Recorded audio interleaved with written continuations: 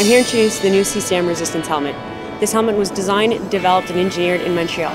Every time a player gets hit in the head, the head can either move in a linear motion or rotate.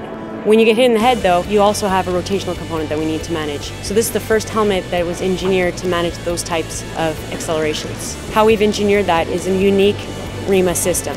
This pod and bladder design is engineered to better manage the energy that gets transferred to your head. So the whole point of the resistance helmet is to slow down the speed of your head accelerating when you get an impact. This system was completely engineered to perform better than any helmet on the market today.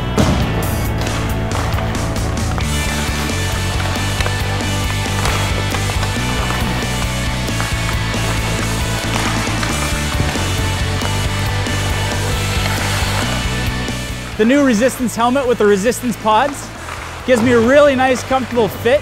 I feel really protected out there. Gives me a 360 degree fit. The new fit system, how they size it in, just grabs onto my head. Feels awesome and it looks good. What do you think of the new bucket? It's good.